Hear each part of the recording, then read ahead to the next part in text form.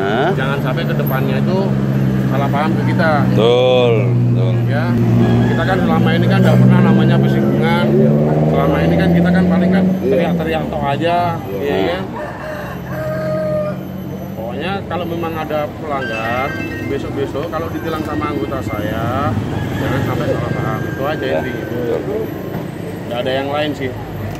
Nggak juga mau apakah mengisikan kalian di sini. kadang parkir di macet juga yang menghindar keluar aja pak Nah, Kita pokoknya kasih tahuin aja, kasih kasih tahu. kadang-kadang dia anu juga. Marah juga. bilang kamu bukan polisi. Eh, dia sudah bikin macet kita yang pernah juga di sini. Betul. Itu aja mas, Jadi ada yang tadi kita kumpulin di sini. Insya Allah, Pak. Insya Tadi dari angkot sebelah yang di Kepron saya kasih tahu juga. Jadi jangan sampai nanti ada ketersinggungan antara kita gitu loh.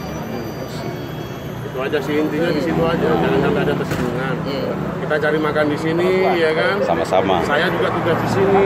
ya Jadi istilahnya sampai yang ngejalanin hari-hari, saya yang nganuin aturannya gitu loh, menegakkan aturannya. Oke, sip. Sip. Oke, Dek. Selamat ya. Oke, oke, Dek. Sukses selalu ya. Oke. Kerjasamanya silakan. Ah, Tapi aku minta tolong sekarang ini.